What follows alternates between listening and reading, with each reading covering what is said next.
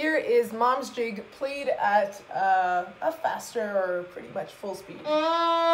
Structure is A, A, B, B, C, C, and then back to B, okay?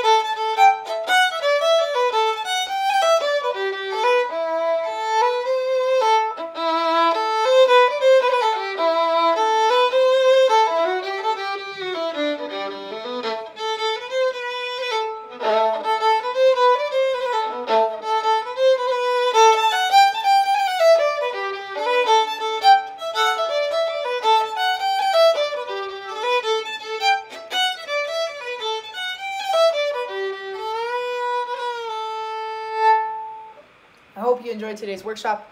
I'll be doing them like once a month now. So next one will be in October.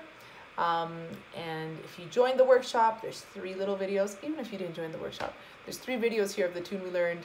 I'll link the sheet music under each video. And I'll also send out today a little recording of our whole online workshop so you guys can go back and revisit it, okay? Have a great weekend.